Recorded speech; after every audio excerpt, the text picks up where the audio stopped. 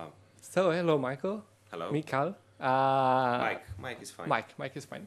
So, for the people who couldn't make it and couldn't come, can you synthesize what's what's your story and what you told us yesterday? Yes, I was talking about uh, what was happening about uh, ACTA in Poland uh, in January and February. You probably heard about that.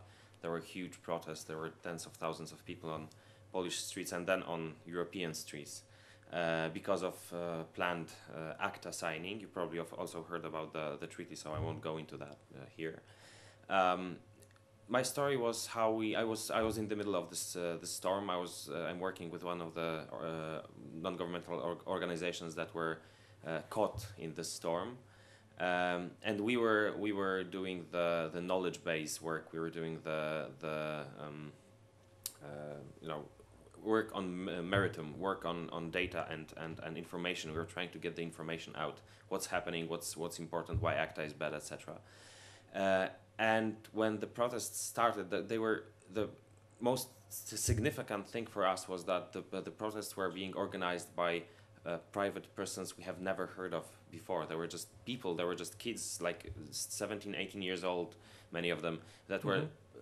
Popping up in different pl- places in Poland saying, "Well, no, this will not this will not stand. I will organize a protest against that." And suddenly they had like 100, 2,000, uh, 200, 1,000 people uh, saying, "Yes, we will come to this protest." So we started we started um, giving them information how to organize a protest that would be legal in Poland, right? Mhm. We are giving them information what they should do, and we were trying to uh, to make all those protests peaceful. We're trying to make tho- all those protests uh, protests apolitical. No uh, party associations, no party logos, no party agendas. Just private pe- uh, persons uh, protesting against a single issue. And that's the third thing: protesting against a single issue, not a broad, huge uh, agenda, political or whatnot. No, protesting against this single issue of of this uh, this bad treaty.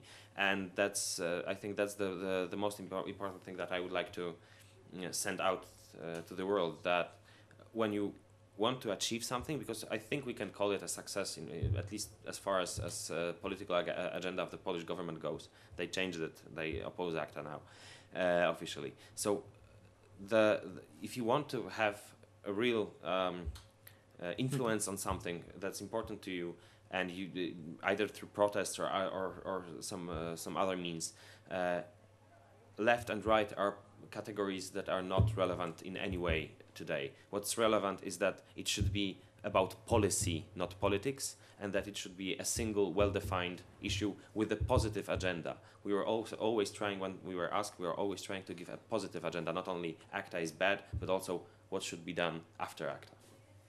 Thank you. Thank you.